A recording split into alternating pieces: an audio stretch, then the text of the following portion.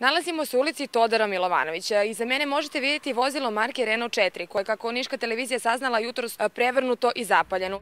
U policiji kažu da je istraga još uvek u toku, a vatrogasna služba je za našu televiziju potvrdila da je jutros oko 4 sata prijavljen automobil u plamenu i da je on uspešno ugašen veoma brzo. Ovo je poslednje u nizu nezgoda koje su se u toku ovog vikenda dogodila u Nišu. Kako nezvanično saznajemo, najčešći uzrok saobraćenih nezgoda i nesreća, pogotovo tokom vikenda, je vožnje u alkoholisanom stanju. Pitali smo vozače šta rade kad popiju koju čašicu. Ne pijem uopšte, a inače bih preporučio onima koji piju da pozovu taksi. Ostavim ili dođe neko po mene pa me odveze. Naravno ne pijem dok vozim.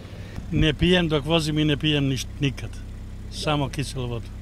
Svi učesnici u saobraćaju, bili oni vozači ili pešaci, kako kažu, ne osjećaju se bezbedno.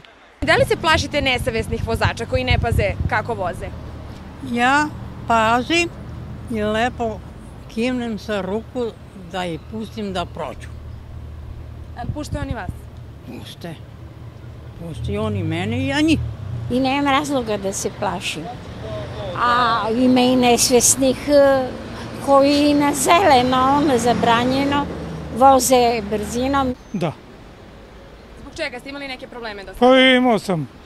A čovjek ako nosi cipele veće od 42 preći će mu preko noge. Prošle godine u Nišu devet pešaka izgubilo život. 45 njih je u saobraćenim nezgodama teško povređeno, dok je 141 zadobio lakše telesne povrede.